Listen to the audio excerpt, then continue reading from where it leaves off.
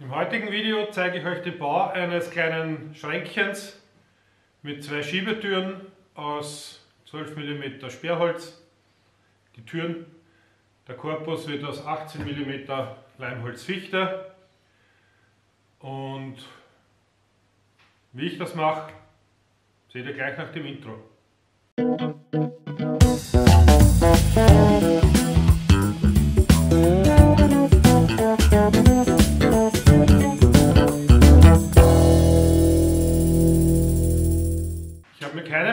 Plan dazu gezeichnet. Der Korpus wird 20 cm tief, das ist die Breite der Platten. Äh, das Kästchen wird 80 cm breit, 40 cm hoch, bekommt an der Front zwei Schiebetüren mit einem Loch, wo man, die man mit den Fingern aufschieben kann. Und jetzt schneide ich mal alles zu und dann werden wir das Ganze zusammenbauen. Bleibt also dran.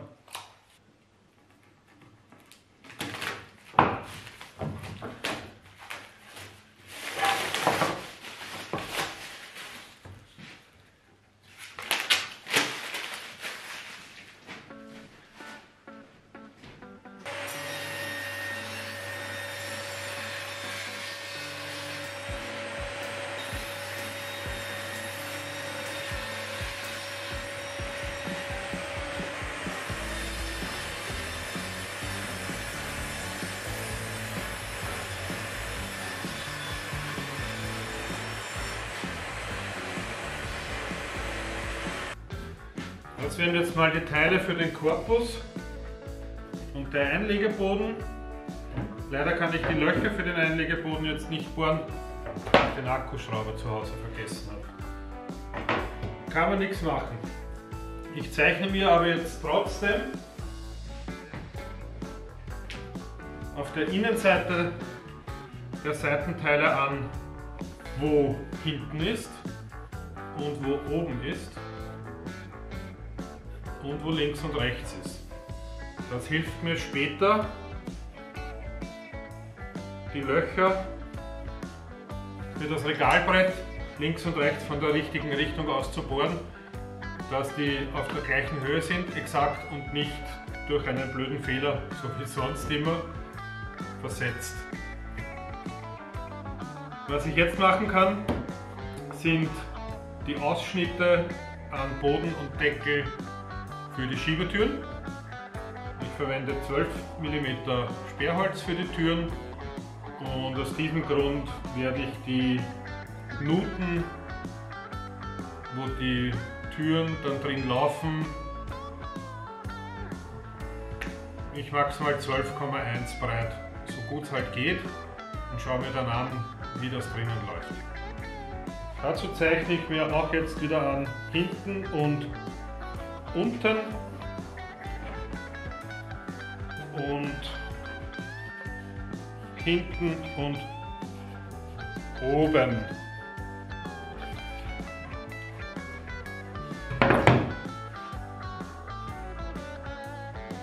Ja, und jetzt sollten wir mal Bleistift spitzen.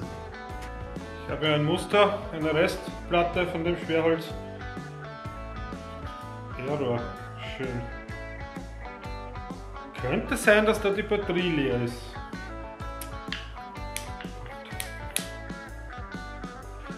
Ich schaue mir jetzt mal an, wie das halbwegs gut ausschaut, wie viel, wie viel Platz ich vorne lasse.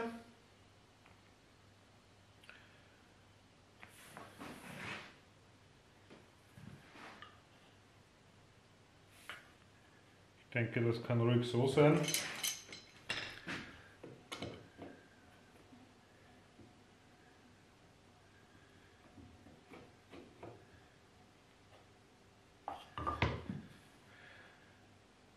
Es werden jetzt 9 mm circa, stellen wir das genau ein.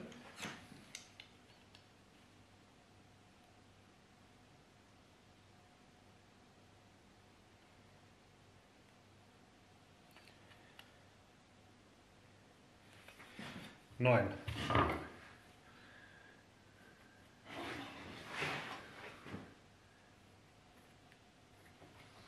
Neun und zwölf sind 21.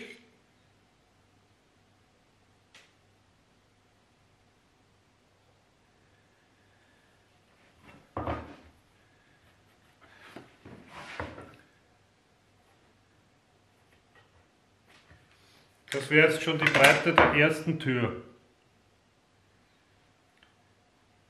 Ja, das schaut eigentlich recht gut aus. Und zwischen den Türen werde ich zwei Millimeter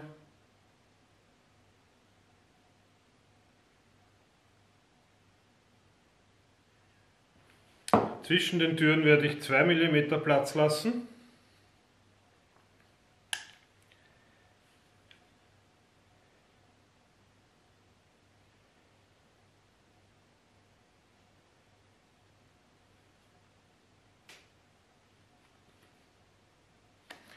Das sind dann 23.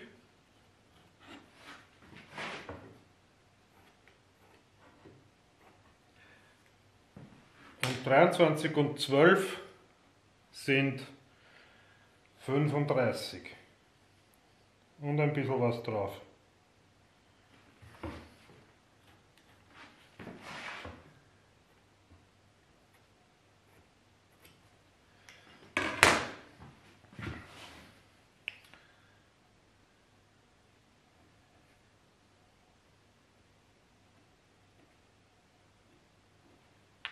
Übertrage ich jetzt um die Ecke.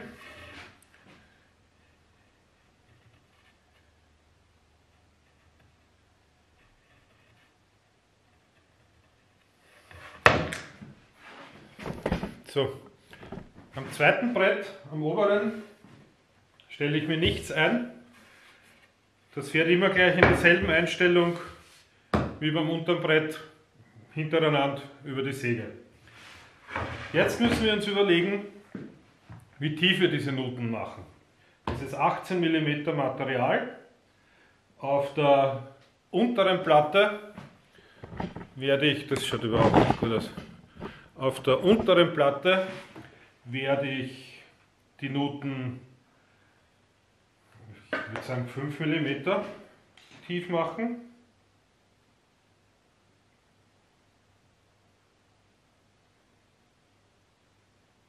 Ja, 5 mm tief. Und auf der oberen Platte mache ich die Nuten 10 mm tief. Das erlaubt mir dann, die Schiebetüren beim Einhängen in die obere Nut einzufädeln, nach hinten zu kippen und runter zu stellen in die untere Nut. Vielleicht macht sogar 11 mm Sinn, dass man beim, Einfädeln an der Unterkante etwas Spiel hat. Ja, und das bedeutet, ich muss mir das auf der oberen Platte auch anzeichnen, weil sonst muss ich die Schnitttiefe der Säge bei jedem Schnitt umstellen. Ist Blödsinn. Das zeichne ich, ich, das zeichne ich jetzt noch schnell an und dann sehen wir uns bei der Säge beim Nuten.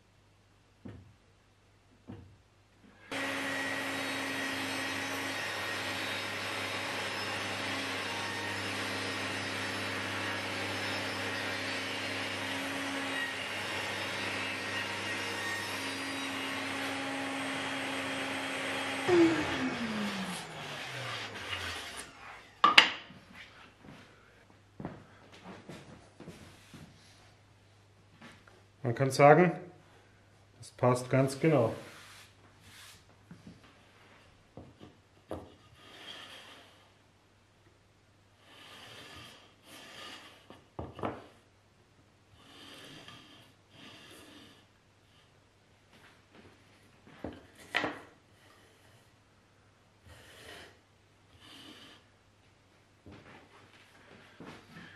So, der Einlegeboden, der darf jetzt natürlich nicht genauso breit sein, genauso tief sein wie Boden und Deckel. Der darf maximal bis zur hinteren Schiebetür gehen. Den habe ich jetzt zugeschnitten. Und jetzt zeichne ich mir auch gleich die Position der Lochreihen an. Hinten ist es Standardmaß, ich glaube 32 mm ist der Raster. Und vorne, am besten messen wir es, dass es auch gleich ist. Vorne 14,5 von hinten.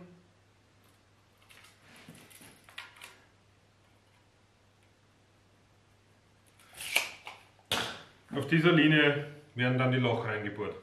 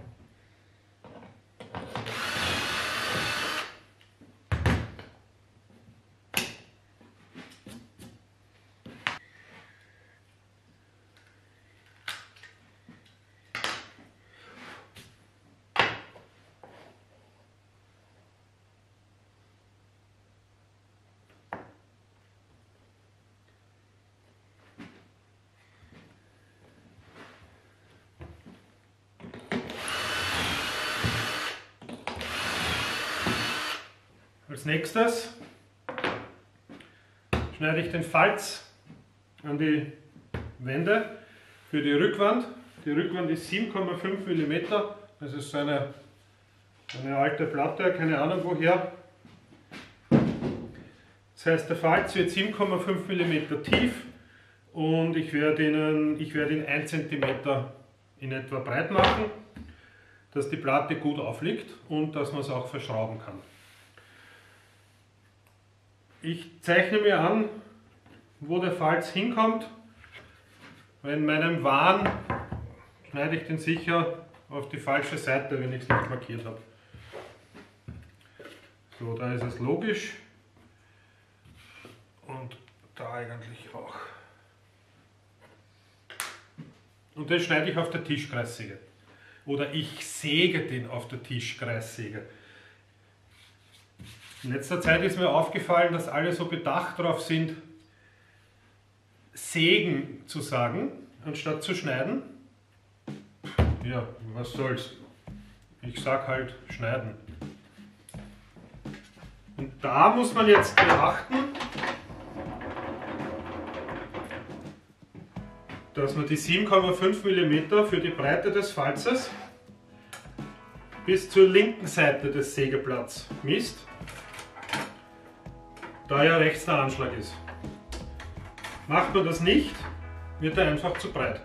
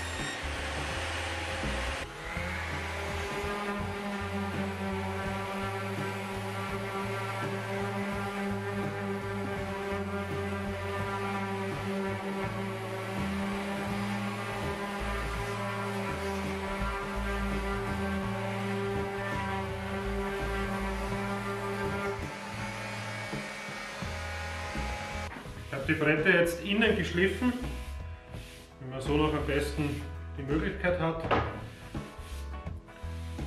kontrolliere ich nochmal, ob mir nichts fehlt, was ich nach dem Zusammenbau bereue. Es sind die Nuten für die Schiebetüren drin, es sind die Falze an allen vier Wänden drin und es sind die Löcher an den Seitenteilen für den Einlegeboden drin. Mehr kann es eigentlich nicht sein. Dann bauen wir das Ganze zusammen. So, oben.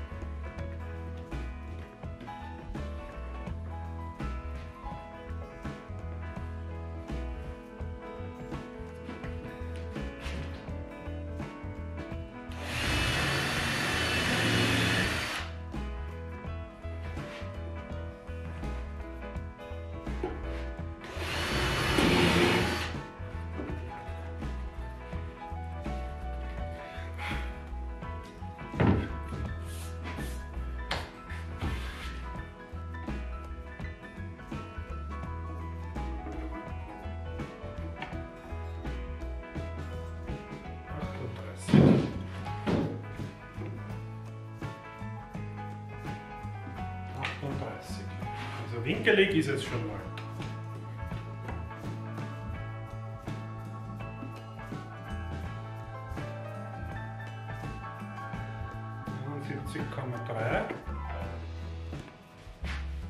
Spannung.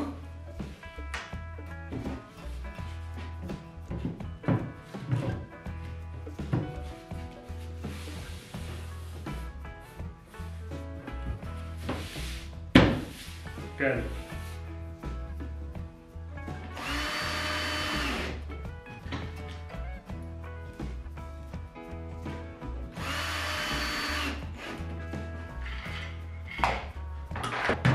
Ich habe jetzt schon die Türen zugeschnitten und einmal drüber geschliffen.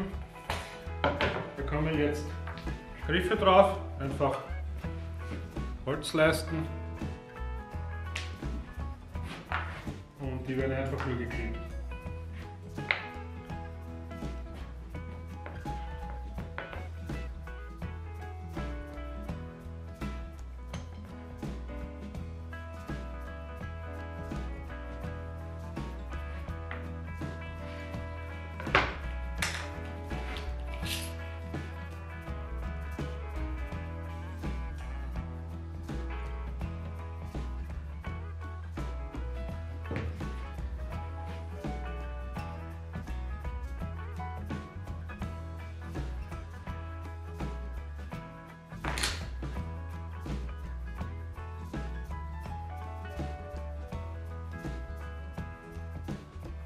Während das in Ruhe trocknet,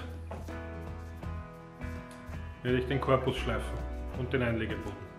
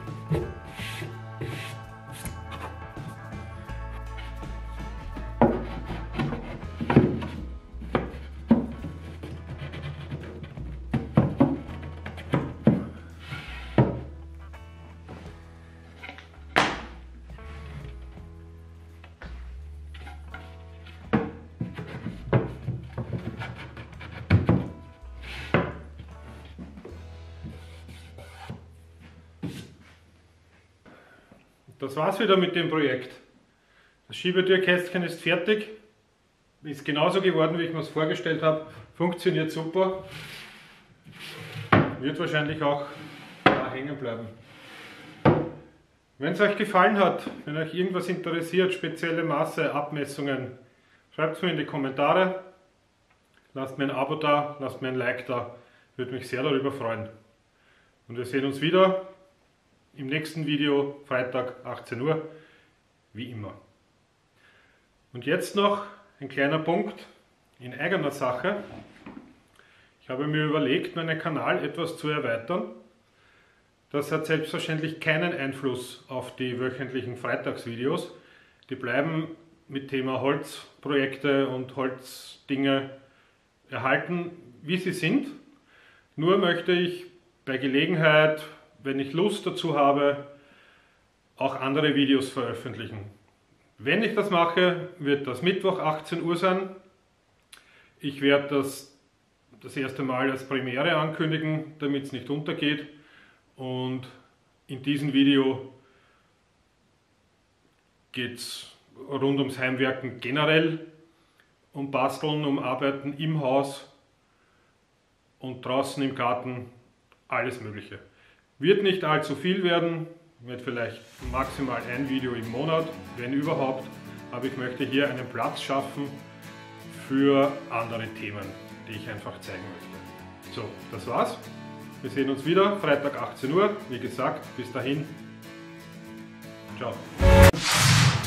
Und Truppe. Nein, ist nicht unnötig. Vielleicht kann es Ihnen jemand ausrichten. Ich bin überzeugt, er schaut meinen Kanal nicht an. So, jetzt aber. Bis die Tage.